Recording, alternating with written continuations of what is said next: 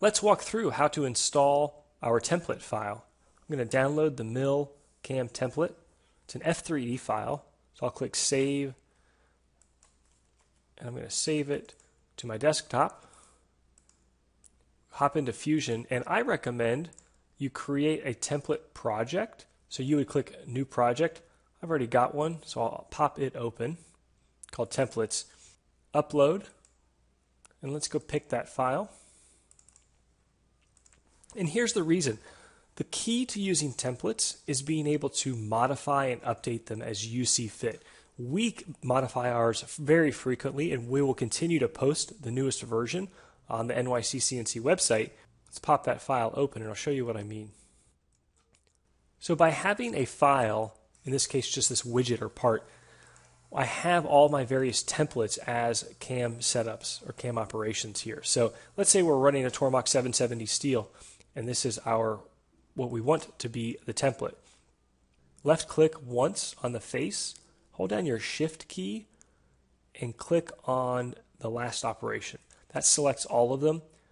I'll now right click, store as template, and I'm going to call it 770 steel. Click OK. You're done. You've now just published that template. So if we hop into a new file and we create an object. We can go into CAM, create a new setup, right click, create from template, and we can use the 770 steel that I just made. And if you expand that arrow, you can see there are all my operations. The great thing about the template is it remembers all those pesky little settings like in my 3D adaptive, I prefer to always have flat area detection checked. Awesome. The problem with templates, if you don't do it this way, is that let's say I publish this template and I realize, you know what, in my 3D adaptive, I would really rather change that optimal load to 625. Well, don't change it here in your part.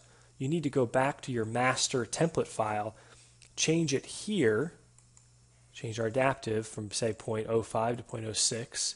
I'm not going to do it because I like 0.05, but you would then click OK and then you would republish that template or repush it out. So I'll say source template. They need to create an update option here that you can pick your existing file because right now you need to remember what it was named. I remember it was 770 steel with no spaces. And because I remembered that name, when I click OK, it's going to ask me to overwrite it. But again, doing this gives you a master file that you can go back to and you can continuously tweak and update and repush out those templates.